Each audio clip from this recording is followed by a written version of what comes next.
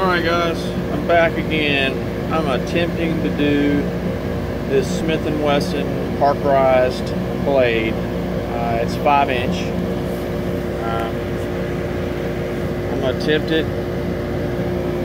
Might work, might not. I don't know. I'm still learning, you know.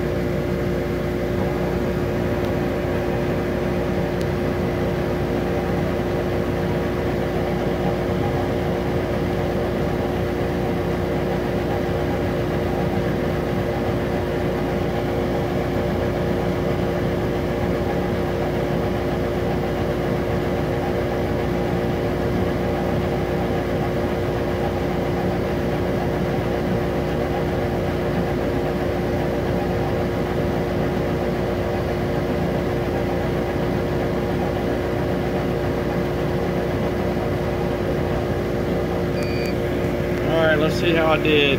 I may have not had it centered exactly right, but like I said, it's my first time. So, I think it turned out pretty good for a first time. I hope y'all can see it. Anyway, just for, you know, for trying it out. I'm happy with that.